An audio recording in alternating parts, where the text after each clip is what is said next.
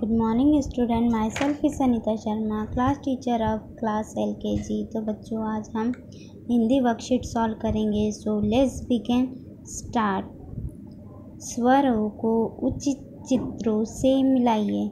यहाँ पे बच्चों, अक्षर दिए हुए हैं, यहाँ पे चित्र दिए हुए हैं। स्वर मैं पढ़ा चुकी हूँ। चित्र आप सब भी जानते हो। अब आप सबको मैच करना है। अ, से बच्चों, अनार आ से आम, छोटी से स्त्री बड़ा ऊ से ऊन, अंग से अंडा, ए से